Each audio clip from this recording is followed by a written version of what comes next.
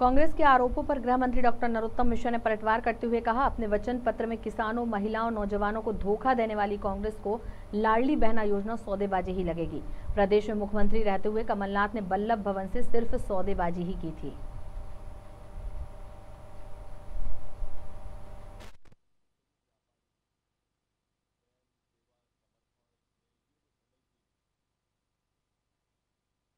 जिनने अपने वचन पत्र में ही धोखा दिया हो किसान को, नौजवान को, महिलाओं को, जो बल्लभ भवन में बैठ के पंद्रह महीने सौदेबाजी करते रहे हों, उनको तो ये सौदेबाजी लगेगी ही।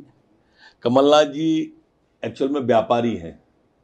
प्रेम, सेवा, समर्पण, स्नेह, ये वो समझते नहीं है। सौदागर, सौदेबाजी, धोखेबाजी, यही समझ